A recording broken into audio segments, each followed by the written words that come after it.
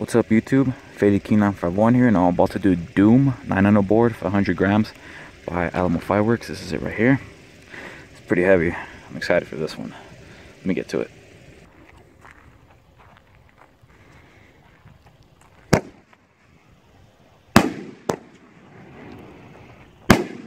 It's hitting hard.